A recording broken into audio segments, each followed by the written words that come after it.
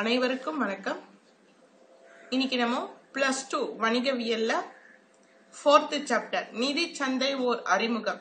அதுல இருக்க long answer நிதி சந்தையின் பங்கினை விவாதிக்கவும்.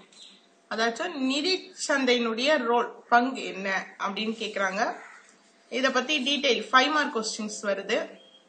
ஸோ இதை நம்ம தெரிஞ்சுக்கிறது ரொம்ப அவசியம். அதே சமயம் இதுல இருந்து கேட்கறதுக்கும் வாய்ப்பு இருக்கு. இப்ப நம்ம இதை பார்க்கலாம். இப்போ நிதி சந்தை அப்படின்னா வந்து தெரியும். பத்திரங்களை வாங்கி விற்பனை செய்யற இடம் தான் வந்து நிதி சந்தை அப்படின்னு பார்த்துருக்கோம். இப்ப பாத்தீங்கன்னா பொருளாதார வளர்ச்சிக்கு வந்து முக்கிய தேவை எதுனா இந்த நிதி சந்தை தான் அப்படின்றாங்க. அதே மாதிரி நல்ல தொழில்துறையெல்லாம் வளர்ச்சி அடையணும் அப்படின்னாலும் இந்த நிதி சந்தை தான் ரொம்ப உதவியா இருக்கு அப்படின்றாங்க. இப்ப இந்த நிதி சந்தையினுடைய ரோல்ல பாக்குறப்போ சேமிப்பை பெருக்கிறதுக்கு உதவியா இருக்கு. முதலீடுகள். அடுத்து வந்து தேசிய வளர்ச்சி. நாட்டினுடைய வளர்ச்சிக்கும் இது உதவியா இருக்குன்றாங்க. தொழில் முனைவோர் வளர்ச்சி. தொழில் செய்யறவங்க வந்து நல்லா வளர்ச்சி அடையறதுக்கும் அவங்க பொருளாதாரத்திலையும் தொழில்துறையும் வளர்ச்சி அடையறதுக்கு உதவியா இருக்கு. அடுத்து தொழில்துறை மேம்பாடு. எல்லா தொழில்களும் நல்ல தொழில் தொடங்குறதுக்கு இந்த நிதி சந்தை வந்து ரொம்ப உதவியா இருக்கு அப்படின்றாங்க. இப்போ என்ன அப்படின்னு டீட்டெயிலாக இதை பத்தி பார்க்கலாம். இப்போ வந்து சேமிப்பை பெருக்குதல். நிதி சந்தை பாத்தீங்கன்னா பல்வேறு மக்கள் கிட்ட இருக்கிற சேமிப்பு பணத்தை வந்து ஒரு ஆக்கப்பூர்வமான செயல்பாடுக்கு பயன்படுத்துறதுக்கு உதவியா இருக்கு. இப்போ மக்கள் கையில இருக்க உபரியான பணம் அரசாங்கத்துக்கிட்ட இருக்க உபரியான பணம் நிறுவனங்கள் கிட்ட இருக்க உபரியான பணம் இதெல்லாம் வந்து பத்திரங்கள்ல சேமிக்கிறதுக்கு இந்த நிதி சந்தை வந்து உதவியா இருக்கு. அதாவது சேமிப்பாளர்கள் தனிநபர்கள் வணிக நிறுவனங்கள் பொதுத்துறை நிறுவனங்கள் மற்றும் அரசு போன்ற உபரி அலகுகளிடமிருந்து நிதிகளை பெறுவதன் மூலம் நிதி சந்தை வந்து ஒரு முக்கிய பங்கு வகிக்குது.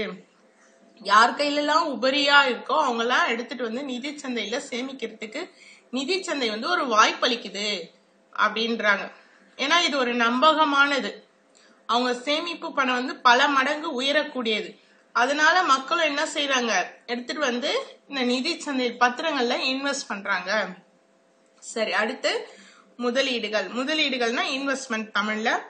இப்போ என்ன செய்யறாங்க இந்த நிதி சந்தை வந்து வசூலிக்கிறாங்க. யார்கிட்ட எல்லாம் வந்து உபரியா இருக்கோ அதெல்லாம் வந்து கலெக்ட் பண்றாங்க. கலெக்ட் பண்ணி யாருக்கு தேவையோ அவங்களுக்கு கொடுக்கறாங்க. தொழில் செய்பவர்களுக்கு இவங்க என்ன செய்யறாங்க அந்த பத்திரங்கள்ல இன்வெஸ்ட் பண்ண பணத்தை கொடுக்கறாங்க. அப்போ தொழில்துறை நல்லா வளர்ச்சி அடையுது. இப்போ நிதி முதலீடுகளை வசூலிப்பதிலும் அவற்றை தேவை உள்ளவர்களுக்கு வழங்குவதிலும் நிதி சந்தை முக்கிய பங்கு வகிக்குது. உபரியா இருக்கவங்க கிட்ட இருந்து வாங்கி தேவை உள்ளவங்களுக்கு கொடுக்குது நிதி சந்தை. அடுத்து வந்து தேசிய வளர்ச்சி. இப்போ யாருக்கு வந்து நிதி பற்றாக்குறையா இருக்கு? தொழில் செய்பவர்களுக்கு. அவங்களுக்கு வந்து எப்பவுமே வந்து நிதி கிடைச்சிட்டே இருக்கணும் பணம் கிடைச்சிட்டே இருந்தாதான் அவங்க வந்து பிஸ்னஸ் நல்லா செய்ய முடியும். அப்போ அவங்களுக்கு தொடர்ந்து பண உதவிகளை நிதி உதவிகளை வந்து இந்த நிதி சந்தை வந்து வழங்கிட்டு வருது. அதே மாதிரி இந்த மக்களுடைய சேமிப்பு பணம் வந்து ஒரு ஆக்கப்பூர்வமான செயலுக்கு பயன்படுத்தவும் உதவியா இருக்கு. இதனால பொருளாதாரம் வளர்ச்சி அடையுது. ஒவ்வொரு மனுஷனுடைய ஒவ்வொரு மனிதனுடைய பொருளாதாரமும் வளர்ச்சி அடையுது. இதனால நாட்டினுடைய பொருளாதாரமும் வளர்ச்சி அடையுது அப்படின்னு சொல்றாங்க. இப்ப அடுத்து தொழில் முனைவோர் வளர்ச்சி. இப்ப தொழில் முனைவோர் அப்படின்னா யாரு யாரு தொழில் தொழில்களை தொடங்குறாங்களோ அவங்க தான் என்ன சொல்லுவாங்க? தொழில் முனைவோர் தோற்றுவிப்பாளர். இப்போ ஒரு கம்பெனியை ஸ்டார்ட் பண்றவங்க பெரிய பிசினஸ் மேன்லாம் இருக்காங்க இல்லையா? அவங்களுக்குலாம் வந்து எப்பவுமே வந்து நிதி வந்து தேவைப்பட்டுட்டே இருக்கும்.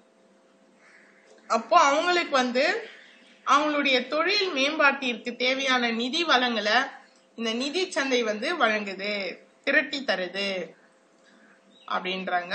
அதனால இந்த தொழில் முனைவோர்லாம் வளர்ச்சி அடைகிறாங்க. தொழில் செய்யறதுக்கு ஆர்வமா இருக்கிறாங்க. அடுத்து தொழில்துறை மேம்பாடு. இப்போ இண்டஸ்ட்ரியல் டெவலப்மெண்ட் இண்டஸ் தொழில்துறை விட இண்டஸ்ட்ரினா நல்லா தெரியும்.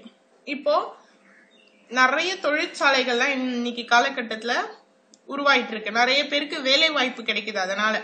இப்போ அந்த தொழிற்சாலைகள் உருவாவதற்கு பொருளாதாரம் ரொம்ப ரொம்ப முக்கியம். அந்த தொழிற்சாலைகளுக்கு தேவையான நிதி வளங்களை வந்து இந்த நிதி சந்தை அளிக்குது. அதனால சமுதாயத்தினுடைய வாழ்க்கை தரமும் உயருது. ஏன்னா தொழிற்சாலைகள் வளர்ச்சி அடைகிறப்போ நிறைய மக்களுக்கு வேலை வாய்ப்பு கிடைக்குது. இப்போ வேலை வாய்ப்பு கிடைக்கிறதுனால மக்களுக்கு பொருளாதாரம் வளர்ச்சி அடைகிறாங்க ஆனால் நல்ல வாழ்க்கை தரம் கிடைக்குது. அப்போ ஒவ்வொரு மனுஷனுக்கும் நல்ல வாழ்க்கை தரம் அமைகிறப்போ சமுதாயமும் நல்ல பயனடையுது. இதனால சமுதாயத்தில் இருக்க மக்களுடைய வாழ்க்கை தரம் உயருது அப்படின்றாங்க. இதனால தொழில்துறை வந்து துரித வளர்ச்சி ரொம்ப வேகமா இன்னைக்கு காலகட்டத்துல வளர்ந்துட்டு வருது. அதுக்கு முக்கிய காரணம் நம்ம நிதி சந்தை தான். நிதி சந்தை தான் அவங்களுக்கு தேவையான நிதிகளை வழங்குது.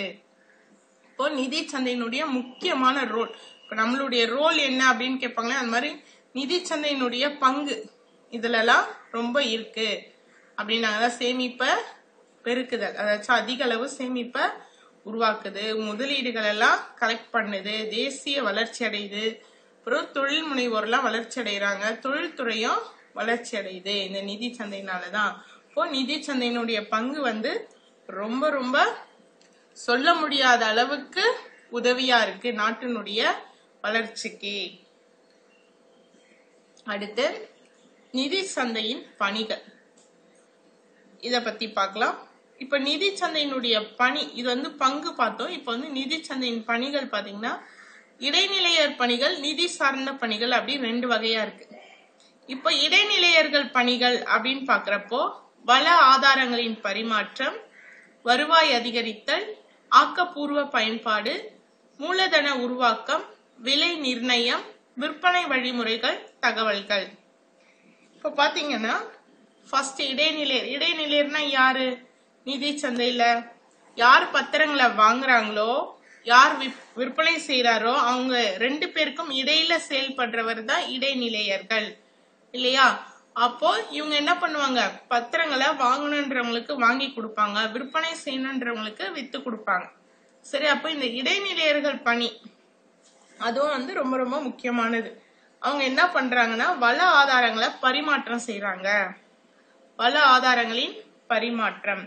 ஃபர்ஸ்ட் பணி உங்களுக்கு என்ன பண்றாங்கன்னா யார் வந்து அதிகமாக தான் உபரியா பணம் வச்சிருக்காங்களோ அவங்க வந்து கடன் தர்றதுக்கு தயாரா இருப்பாங்க. அப்ப அந்த கடன் தர்றதுக்கு தயாரா இருக்கிறவங்க கிட்ட இருந்து யாருக்கு தேவையோ கடன் பெறுபவருக்கு என்ன செய்யறாங்க மாற்றுவதற்கு உதவியா இருக்காங்க. ரெண்டு பேருக்கு இடையில செயல்படுறாங்க. உபரியா பணம் வச்சிருக்கவங்க கிட்ட இருந்து வாங்கி தேவைப்படுறவங்களுக்கு கொடுக்கறாங்க. இப்போ இடையில இடைநிலையராகவும் செயல்படுறாங்க. இந்த வள ஆதாரங்களை பரிமாற்றம் செய்யறாங்க புரிஞ்சுதுங்களா? இப்போ அடுத்து வருவாய் அதிகரித்தல். இப்போ உபரியா பணம் வச்சிருக்கவங்க என்ன பண்றாங்க? பத்திரங்களை இன்வெஸ்ட் பண்றாங்க வாங்குறாங்க. இப்போ அவங்களுக்கு இன்வெஸ்ட் பண்றதுனால என்ன கிடைக்குதுன்னா இன்னும் கொஞ்சம் எக்ஸஸா பணம் கிடைக்குது. அவங்க வந்து பத்தாயிரம் ரூபாய் கொடுத்து ஷேரை வாங்கினாங்கன்னா அவங்களுக்கு வந்து டிவிடெண்ட் பங்காதாயம் சொல்லுவாங்க லாபத்துல என்ன செய்வாங்க? ஆதாயம் கொடுப்பாங்க. ஒரு எயிட் பர்சன்ட் ஃபைவ் பர்சன்ட் அப்படி கொடுப்பாங்க. இன்ட்ரெஸ்ட் கொடுப்பாங்க. சரி அப்ப இவங்களுடைய வருவாய் வந்து அதிகரிக்குது. இவங்க வந்து நிதியை வந்து முதலீடு செய்யறதுனால இவங்களுக்கு வட்டி இல்லைன்னா பங்காதாயம் அந்த மாதிரி ஈட்டுவதற்கு உதவியா இருக்கு. இவங்களுடைய வருமானம் அதிகரிக்கிறதுனால தேசிய வருமானமும் அதிகரிக்குது. அடுத்து ஆக்கப்பூர்வ பயன்பாடு. இப்போ ஒருத்தர்கிட்ட இருக்க உபரியான பணம் உங்க வீட்லயே அப்படியே வச்சிட்டு இருந்தா பூட்டி வச்சிட்டு இருந்தா யாருக்குமே பயன்படாது. அதை எடுத்துட்டு போயிட்டு நம்ம வந்து பத்திரங்களை இன்வெஸ்ட் பண்றதுனால அந்த பத்திரங்களை இன்வெஸ்ட் பண்ற பணம் ஒரு தொழிற்சாலைக்கு ஒரு தொழிற்சாலை உருவாவதற்கு பயன்படுது. அப்ப இது ஒரு ஆக்கப்பூர்வமான பயன்பாடு. இல்லைங்களா? இப்போ நிதி சந்தையில இருந்து வாங்கின கடனை என்ன செய்யறாங்க ஆக்கப்பூர்வமான வழியில பயன்படுத்துறாங்க. இது வருமானம் மற்றும் தேசிய மொத்த உற்பத்தி அதிகரிக்குது அப்படின்றாங்க. அடுத்து மூலதன உருவாக்கம். மூலதன உருவாக்கம்னா நிதி சந்தையில பாத்தீங்கன்னா புதிய சேமிப்பு ஓட்டம் மூலம் ஒரு நாட்டின் மூலதன உருவாக்கத்திற்கு உதவி புரிய வழிவகை செய்கிறது.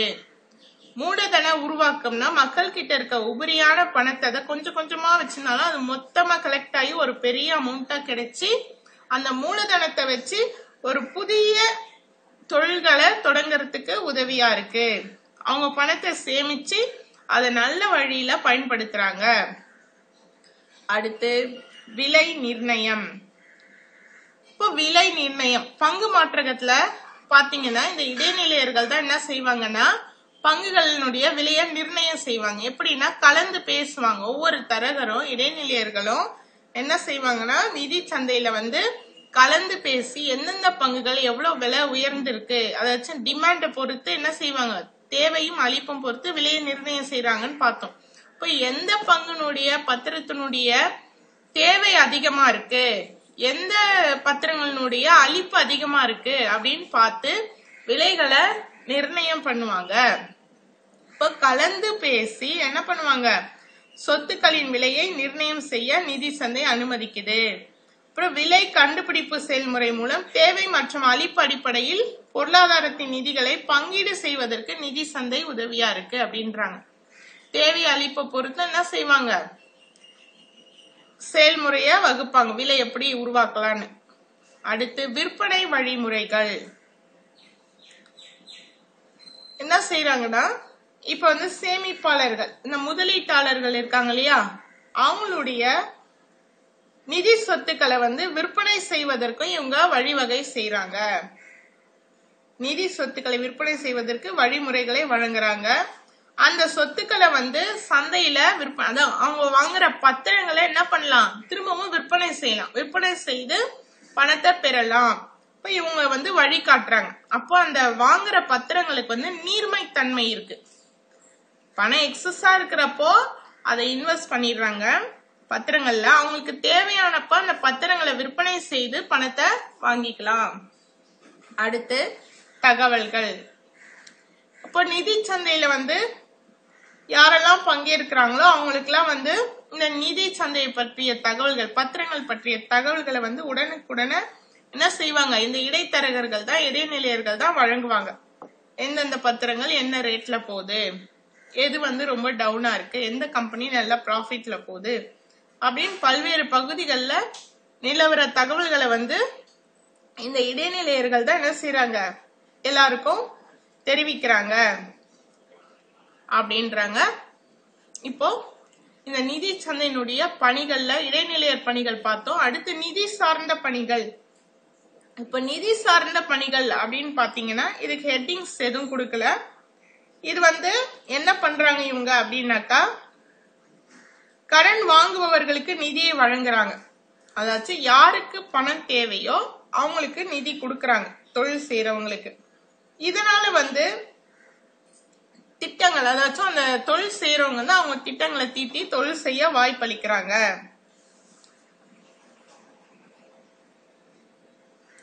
அதே மாதிரி துணிகர முயற்சியில ஈடுபடுறதுக்கு இந்த நிதி சார்ந்த பணி.